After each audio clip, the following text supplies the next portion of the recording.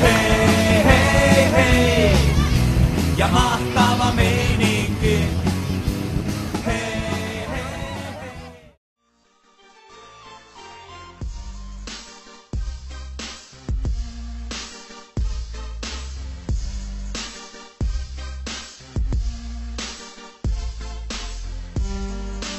Päivän kuulumiset tässä reenit takana, niin oikein hyvät.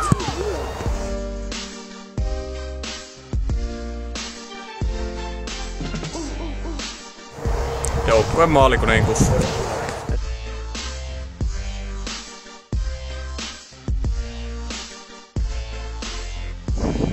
Hyypiö voisi toimia tällaisena suomalaisena esikuvana.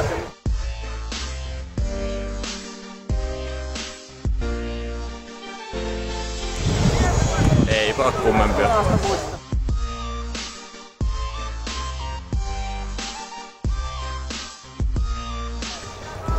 Öö, pizza.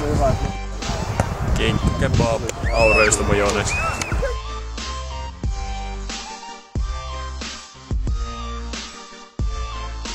Paras sips muusta. Joo. Hakapeli oli kyllä oikein hieno tapahtumana, että kyllä se mieleenpainuva.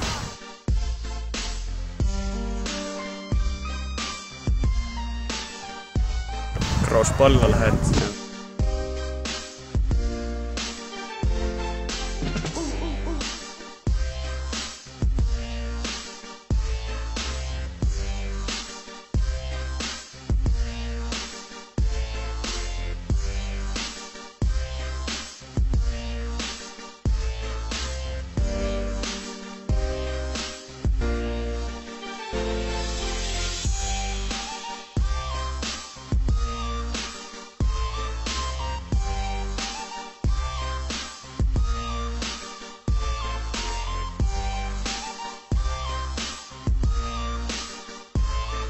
Se on kouluissa pakko sanoa kyllä.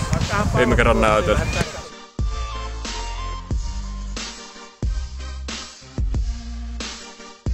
Niin poikamiehenä voi kysyä Mäksältä, että Märkämäkisen tipsit, että miten löytää oma elämän Viivi Pumposen Kuopion Onnelasta.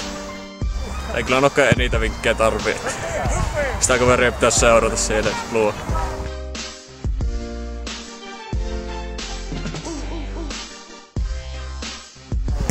Joo, että milloin ne maalit rupeaa maistumaan, kun paikkaa tuntuu olevan.